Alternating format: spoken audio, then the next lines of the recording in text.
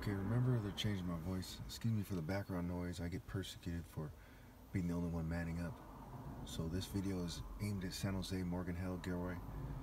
I know that I'm much different than everybody else on the planet, and that goes for here as well. But if people don't get together and insist on a logical plan, their offspring are going to be made into worthless worms. They're going to continue rotting inside. And you all know what I mean. You know, no offense, we'll say. And it does piss me off that nobody cares, but I'll go ahead and say no offense. But this has to be said.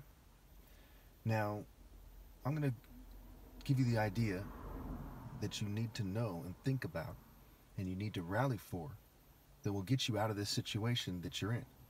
But I predict, again, I predicted this two years ago and I've been trying this like every day, all, all over the internet, what have you, handing out cards, okay?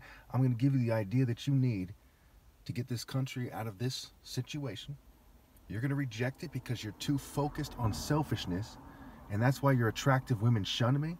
And that needs to be said too, because I'm the son of two doctors, one a brain surgeon. Okay, I'm half black, half white. Why did I get shunned in one of the least racist counties in America? Okay, because you're so focused on your corporate, selfish agendas. You need my leadership, but you're going to reject it.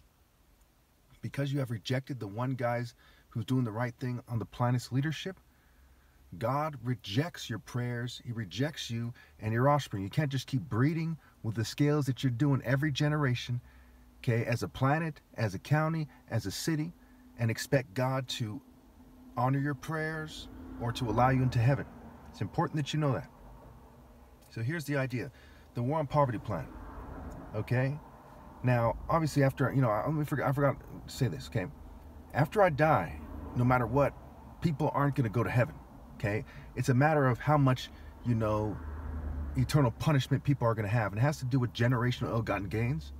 It has to do with, you know, people using psychology and erotic desire instead of living uh, with moral precision and true heart. It has to do with your lack of care. It has to do with your conformity instead of loyalty to God okay? And that's a long story. I want to make this brief. TikTok's giving me a hard time about uploading these videos. I'm getting cyber attacked, and I'm being fumed and poisoned all the time. I'm being fumed right now. It's hot, and I'm on the side of the road in my car. So let's just shoot through this. Okay. So we need a 2% tax on things, okay?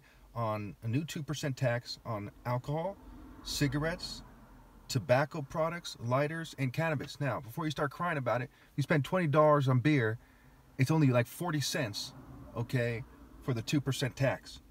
But if we tax all these things, okay, which are luxury goods, people who are struggling money shouldn't be buying anyway, then we'll bring in $10 billion a year, okay? $10 billion a year, just from that. If we do another tax, you know, an average of $5 a month, an average of $5 a month for taxpayers who make less than a million dollars, or excuse me, worth less than a million dollars, and people who are worth more than a million dollars pay an average of $200 a month, we'll bring in another 60 billion. If we stick to my blueprint for tiny homes in the suburbs and in, on a government property in the cities, we can build tiny homes with running water and electricity, with land purchases included, for an average of 30,000 a pop. Okay? That means for just 30 billion, we can build, build a, a million tiny homes in, in, in America that will more than cover homelessness.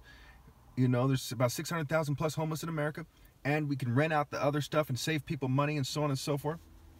We use the other money for food programs to combat inflation and to combat child hunger and to provide for families that don't, um, you know, get enough food in. And if we do this effectively, you know, the wholesale effect, what have you, the manufacturer effect, we should be able to um, save a lot, you know, a lot of those people who are going to pay that $5 a month on average uh, tax, okay, a lot more money than they're paying for that average of $5 a month. Okay, they might be paying $3, $5. It's an average tax, a progressive tax. Okay. I got to cut it short here because it gives me a hard time about uploading this. Okay, they edit my pictures, they edit my voice.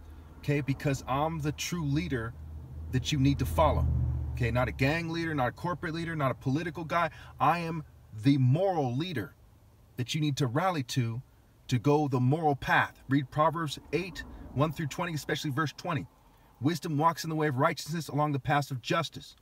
Okay, Christ's spirit, God's spirit, is justice and righteousness. Isaiah 51, Isaiah 16:5, speeding and seeking the causes of righteousness and justice. Proverbs 16:12, the throne is established through justice. The golden rule, do unto others as you would have them do unto you. Okay? You people are not living this, and it's not good.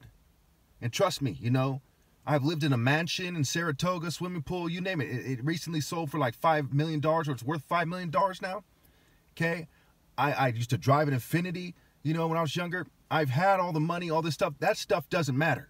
Righteousness is what matters. I hung out with the thugs and hung out with the corporate crowd, hung out with hippies, I hung out with all kinds of people. Went to six different high schools. Let me tell you, your cultures are nothing compared to righteousness. And you're wasting your lives. And you need to come together for what is right and accept adversity. A lot of you are scared of the government. You're scared of your gangs. You're scared of the community. You need to stop being scared and stand for what's right. And the government thinks you're all stupid enough to think that because I stumble on my words because I'm being fumed, that you shouldn't stand with me. You know how much money they will have to settle for if you stand with me? I already have 23 witnesses on record. If you stand with me, help me expose this, they're going to have to settle with me for maybe even a billion dollars. Depending on the settlement, whoever stands with me and does the right thing and helps me expose this and helps me get justice, I'll pay them a reasonable amount of the settlement for them telling the truth about this. The truth, the whole truth, and nothing but the truth.